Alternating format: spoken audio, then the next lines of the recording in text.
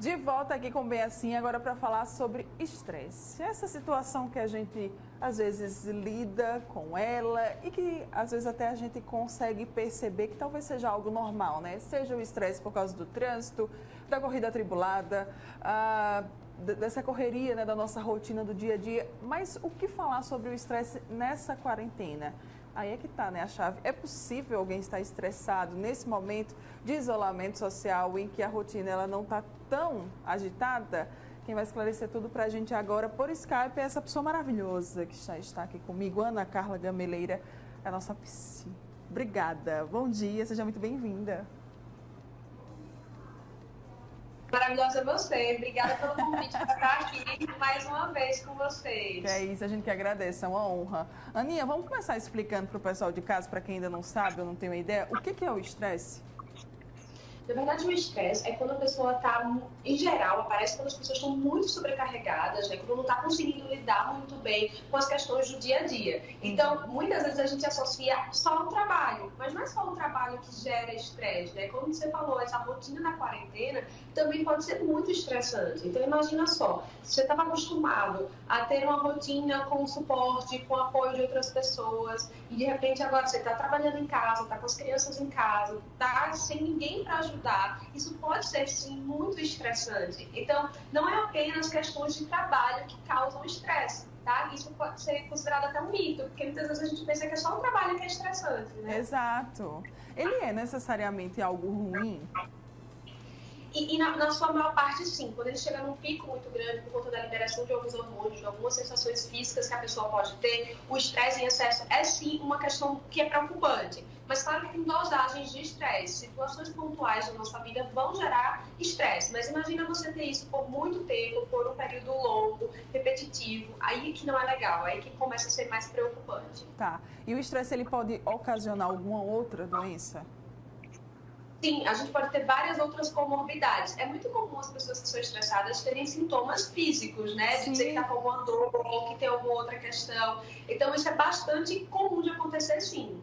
Certo. Quais então que são os maiores sintomas, os principais sintomas de estresse? Eu acho que existe muitas vezes uma fadiga, uma dificuldade de sono, uma dificuldade às vezes de acalmar também a mente, tem um pouco de ansiedade em excesso, né? Então, vários desses sintomas, algumas pessoas também estão sentindo na quarentena. E aí vai perguntar, mas meu ritmo, algumas, né? O ritmo Sim. de trabalho diminuiu e continua sentindo esses sinais. Porque muitas vezes os sintomas do estresse podem ser, em alguns graus, alguns pontos, né? Parecido com de ansiedade também. Uhum. Né? Então, dessa coisa de não conseguir dormir bem, de ter insônia, muitas vezes as pessoas com estresse têm isso, né?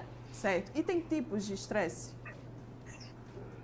Na verdade, eu acho que ele vai sendo redirecionado para a situação que está vivendo, né? Sim. O, o é mais ou menos dessa forma.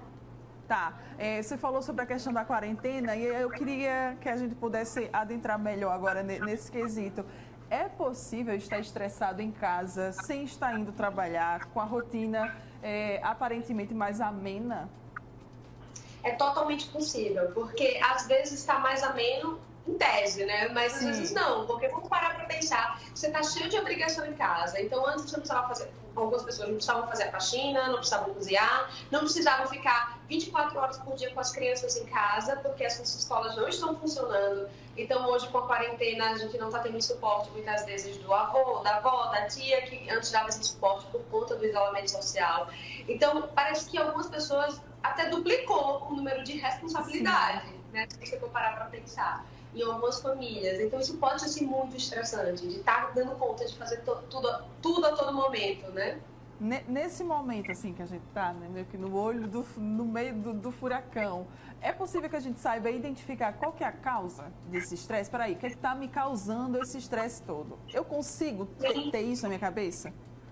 Eu acho que nesse momento é muito importante a gente parar para tentar ver o que está mais te deixando mais preocupado. É, será que é o vírus em si ou é a iminência do, de ser infectado? É a questão financeira? É a rotina em casa? O que está te gerando mais estresse no momento? Eu acho que é isso é preciso parar e perceber como é que seus pensamentos estão fluindo. Como é que isso está acontecendo para você? O que, que vem realmente de pensamento que a gente chama de pensamento automático, né? Que são pensamentos rápidos não avaliativos que a gente tem sobre as coisas. E eles podem nos dizer muito sobre o que a gente está sentindo e pensando no, é, no momento, né? Então, ele vai direcionar a gente dentro dessa parte de emoção. Então, para a gente tentar ver o que está deixando mais estressado, é ver o que é está te preocupando mais. Acaba sendo até meio simples, sabe, de perceber.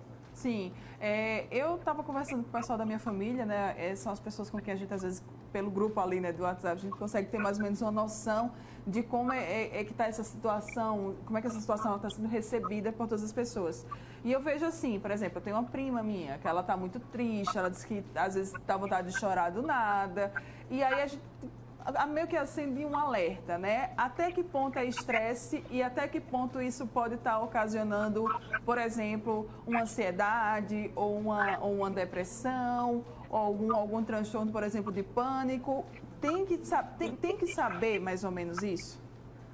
Isso, na verdade, eu acho que muitas pessoas estão com muita ansiedade. Isso pode estar sendo confundido com estresse nesse momento, né? Sim. Mas tem momentos que são mais estressantes na quarentena. Mas não quer dizer que você está necessariamente com um transtorno de ansiedade, ou com um transtorno, ou com estresse, né, propriamente dito, de doença. Mas assim, é normal ter alguns sinais e sintomas de várias, várias comorbidades nesse momento, se a gente for parar uhum. para pensar. Então, tem pessoas que estão tendo alteração do sono, tem pessoas que estão muito tristes, mas não querem que elas estão com depressão, porque realmente é uma situação muito nova que faz com que a gente sinta um monte de coisa diferente que às vezes a gente não consegue controlar porque mexe um pouco com a nossa instabilidade, com a nossa incerteza, com a falta de programação. E para muitas pessoas, ter um pouco de controle, um pouco de noção do que vai acontecer, de programação, ajuda uhum. muito né, a se sentir confortável. E não ter isso deixa a gente fora da zona, nossa zona de conforto. E isso causa essas sensações desagradáveis, na verdade. Não Sim. ter controle do que vai acontecer. E no fundo ninguém tem agora, né? ninguém tem. Tá tudo muito incerto e eu acho que é isso que está mais afligindo as pessoas, essa incerteza. A gente não tem, por exemplo, um dia de quando as coisas elas vão se acalmar. A gente não tem um dia de quando o vírus ele vai deixar de circular. É, e eu acho que isso é o que está afligindo mais. Então, o que fazer nesse momento para diminuir é, essas taxas de estresse, para tentar é, não, não sofrer tanto com essa ansiedade, com essa angústia do futuro? Isso, porque assim, na verdade, como a gente não sabe quanto tempo vai durar, como é que vai ser desenrolar de tudo isso, se a gente vai ficar mais um mês em casa, mais dois, mais uma semana, e, se, e como vai ser quando a gente voltar, né? Então a gente precisa criar uma nova rotina, criar um novo, novos hábitos. Então, uh, estabelecer novos horários, seja para acordar, para fazer exercício físico, porque o exercício físico é muito importante tanto para a ansiedade quanto para o estresse, né? É, se alimentar bem, começar a criar rotina, seja com os filhos, uma programação. Até eu falo para os pais do consultório, fazer uma programação semanal com as crianças. Então, se você está trabalhando, se organiza, faz uma rotina, mas uma hora por dia é exclusiva das crianças. Então, cria situações para poder tornar o ambiente mais agradável a nova rotina mais prazerosa. Uma dica também que eu tenho dado muito para alguns pacientes, né, que ficam muito irritados de estar o tempo inteiro trancados dentro de casa, se tem um carro, pega um carro, vai dar uma voltinha de carro, vai visitar alguém de carro dentro do carro sem sair. Sim.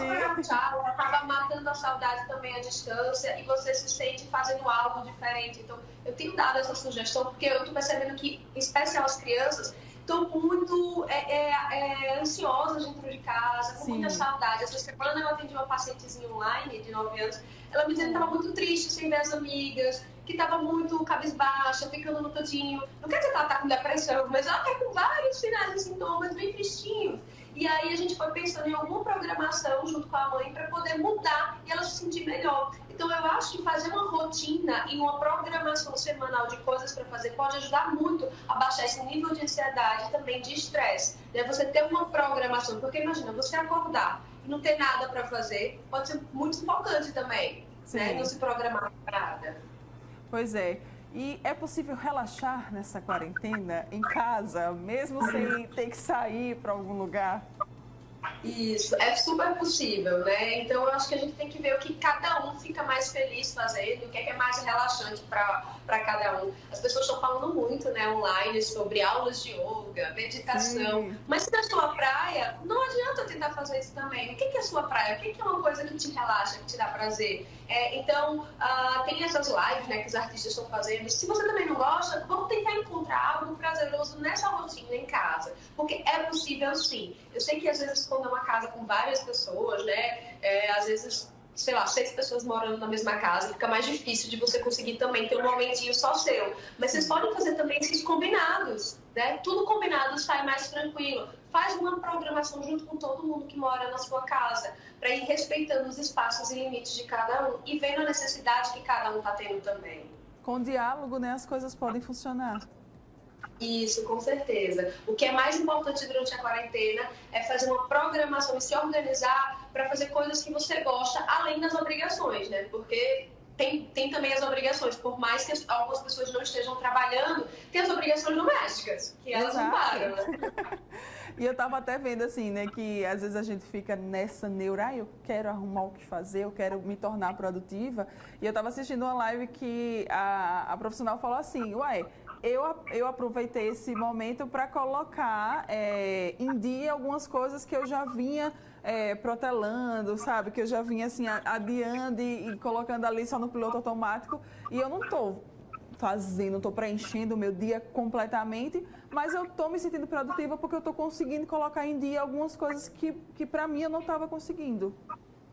Isso, acho que metas diárias. Hoje a minha meta é arrumar um armário. Hoje a minha meta é conseguir fazer exercício físico. A minha meta de amanhã vai conseguir tal coisa. Não precisa ser tudo num dia só, né? Porque a sensação que a gente dá quando olha as redes sociais é que tá todo mundo muito ativo, muito pro produtivo, como você falou. E às vezes a realidade não é bem assim, né? Sim. Então respeita o seu tempo, respeita o seu momento. Eu acho que essa comparação muitas vezes também não ajuda. E eu acho que a gente tem que dar para nossa para nós mesmos o que nós estamos precisando nesse momento. Então, se agora eu estou precisando só sentar no filme, assistir televisão, uh, sentar no sofá e assistir um filme, ok. Se agora eu estou sentindo necessidade disso, ok. Mas eu acho que uma leve programação pode te ajudar a baixar esse nível de ansiedade também, para você se ocupar, né? Sim, com certeza.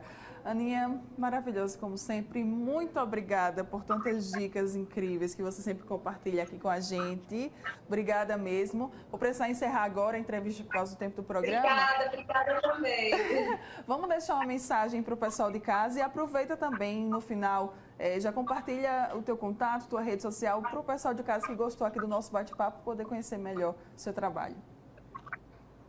Isso, então eu acho que nessa quarentena a gente tem que cuidar muito da nossa saúde mental, a gente não pode deixar de lado, né? Fazer coisas que preencham também esse lado é, emocional nosso, dessa resposta emocional. Então sempre para e observa o que, que, o que, que você está sentindo, o que, que você está pensando e tenta balancear isso aí. E eu, eu, eu tenho um Instagram no consultório que chama Psicologia em Destaque, onde a gente sempre compartilha dicas de saúde mental. Então, se você tiver interesse, olha lá, segue a gente lá.